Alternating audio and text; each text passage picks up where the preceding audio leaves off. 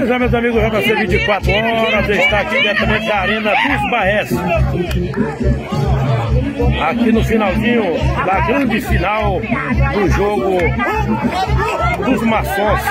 Nesse dia especial, dia 20, dia, uma hora, aí o dia dos maçons. E aqui nós temos aqui um placar de virada.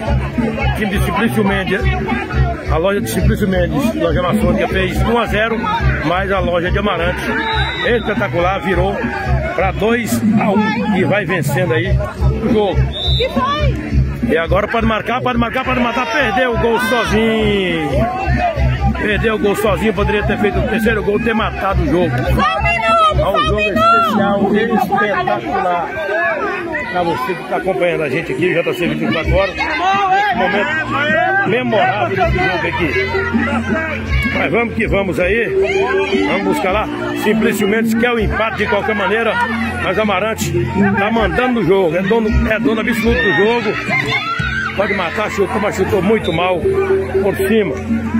É, jogo bom, gente. A torcida aí tá animada aqui na Arena dos Baés.